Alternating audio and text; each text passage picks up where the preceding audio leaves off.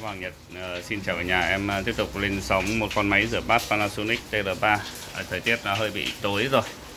Con này em để mã số 5 nhé. Một con TR3 đã làm phần thân vỏ rất là đẹp rồi ạ. TR3 các bác này. Bảng điều khiển mọi chức năng hoạt động ok đẹp đẽ.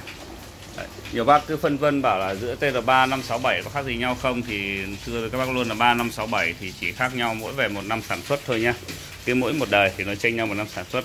Còn bộ toàn ờ, còn lại là toàn bộ tính năng, tất cả mọi thứ nó giống nhau hết.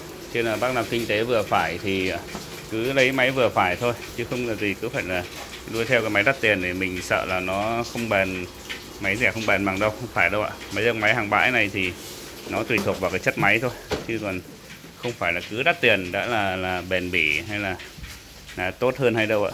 Đấy là vì bên Nhật nó máy đời trước thì họ lại bỏ lâu rồi, chứ không phải là họ dùng đến tận ngày bây giờ. Đấy, ví dụ như sản xuất năm 2010 thì họ khi chỉ dùng đến 2013 họ đã bỏ rồi.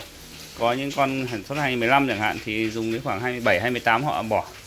Chứ là quan trọng nhất là cái máy khi mà mà về đến mình thì nó chất máy nó còn như thế nào thôi. Đa số là tất cả đều nguyên zin hết chả có con nào sửa chữa gì đâu. Về các shop hoặc là bên em chỉ làm về hình thức thôi. Đấy.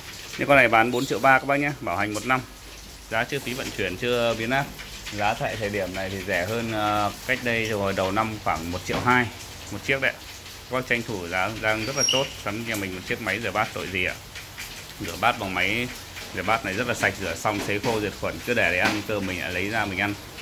Tội gì mà mình phải, nó không phải là nhiều nhận thì 10 20 triệu 30 triệu như ngày xưa, mà bây giờ nó chỉ có mấy triệu thôi.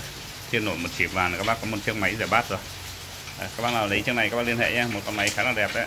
Chào các bác